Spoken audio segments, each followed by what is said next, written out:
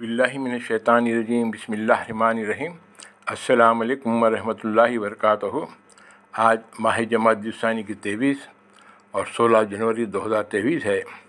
बंद नाचिस मकसूल ख़ां, आज की निश में बाज़ार से दूर रहें पर कुछ कह रहा हूँ, समाज फरमाइए।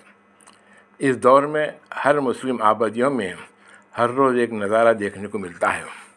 वो नज़ारा नौजवानों का बाज़ारों, रास्तों में बैठना है।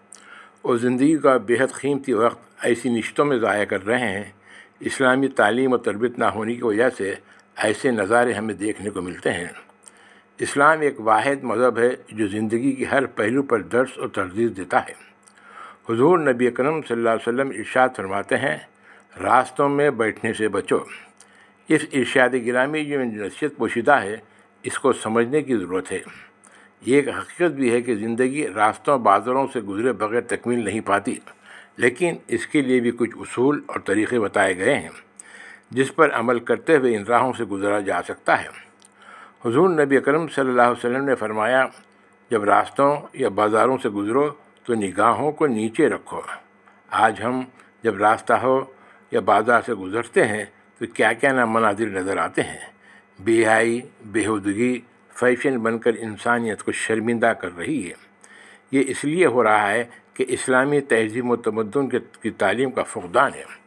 तालीम सिर्फ़ किताबों किताबों तक रह गई है। अमली रूप के मनाजिर कहीं दिखाई नहीं देते। इस कैफियत को शायर ने क्या खूब बयान किया है मुला फरमाई के उठा में मदरसा और खानखा से गमनाक। उठा में मदरसा और खानखा से गमनाक। न ज़िंदगी, ना मोहब्बत, ना मारिफत, ना निगाह। बाज़ार फितने पैदा करते हैं और वक्त को तबाह कर देते हैं। ज़िंदगी क्या है? सिर्फ़ वक्त। अगर हम इसको ज़ाय करते हैं तो वह ज़िंदगी बर्बाद करते हैं। याद रहे, वक्त कभी वापस नहीं आता और ना उम्र दोबारा मिल सकती है। इसलिए वक्त की कदर करें। बाकायदगी को अपना उसूल बनाएँ तो कामयाबी हासिल होगी। बुज़ुर्गों ने कहा है कि जिसने वक्त को बर्बाद किया, आगे इसको वक्त बर्बाद कर देता है। दानिशमंद लोग वक्त को बाज़ार में सर्फ नहीं करते, बल्कि इसकी कदर करते हैं। जिन्होंने वक्त को ज़ाय किया, अपनी ज़िंदगी बनाने में तवज्जो नहीं की, इनका क्या हाल है? गुज़रा हुआ वक्त लाखों रुपए सर्फ करने के बाद भी नहीं मिलता। आज वक्त का तकाजा है कि हम, बिलखसूस मुसलमान लोग, वक्त की क्या कदर कर रहे हैं, वक्त को किस तरह गुजार रहे हैं, इसका जायज़ा लेने की ज़रूरत है। हम मुसलमान और मुसद्दक़ हैं। हमारा हर अमल इस्लामी तहजीब व तमदन का नमूना हो। इसके लिए ज़रूरी है कि वक्त को बेहतर तरीके पर सर्व करें। बाज़ारों और रास्तों पर बेवजह फिरने से बदनामी हासिल होती है।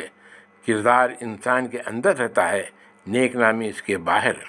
नेक नामी के हसूल के लिए रास्तों, बाज़ारों से दूर रहें। बुज़ुर्गों का फरीज़ा है कि वक्ता फ़ोक्ता नौजवान की तरबियत करते रहें। इससे कौम की भलाई होती है। अल्लाह ताला के हुजूर दुआ है कि हमें ज़िंदगी के हर उसूल पर, उस रसुल्ला पर चलने की ताकत और खुवत अदा फरमा। हमें इबादत रियाजत का शौक़ अदा फरमा। तो हमारी इबादत और रियाजत को कबूल फरमा। तो हम पर रहम फरमा, करम फरमा। आमीन। व आखिर दावाना। अलहमदिल्ला रबालमीन